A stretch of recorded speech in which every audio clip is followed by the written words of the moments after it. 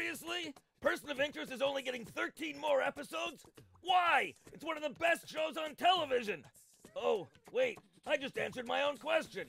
Good shows don't last on network TV, only crap. Proof? Castle just got renewed for its eighth season. What's Castle? Exactly!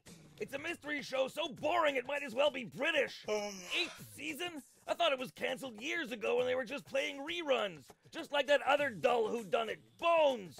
The name suits it because it's just a skeleton of a procedural format. Supernatural is getting an 11th season. 11 years of two guys in tight t-shirts. These shows are the Nickelback of TV series. I'm pretty sure they keep getting made because they shoot after hours when all the execs have gone home. Law and Order SVU is going into its 17th season. 17 seasons? Their plots are like brushing your teeth, a routine you can follow even drunk. Castle. What a piece of shit. Agents of S.H.I.E.L.D. Crap.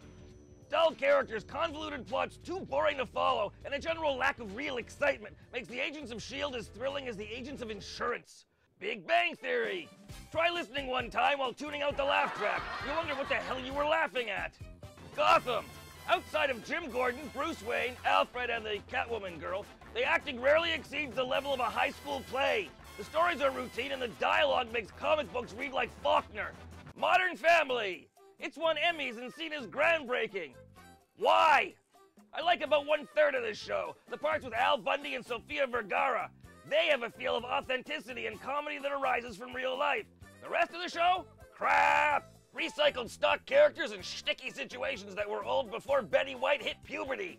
And the landmark gay couple that everyone raves about? Please. In real life, gay people have made enormous strides, but on TV they still act like Monroe from Too Close for Comfort. Sure, one half of the couple is a football coach, but who act like a 1950s sitcom mom in a man's body. I work with a lot of gay men, and almost all of them are men who are gay, not gay men. This is sophisticated comedy? The general level of humor is as inventive as Funny's Pud.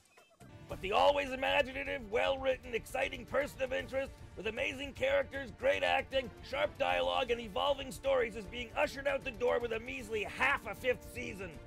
CBS says they don't know if it'll be the final season, but don't piss in my ear and tell me it's raining. A show the network really supports gets more than 13 episodes. The main reason for this decision is greed.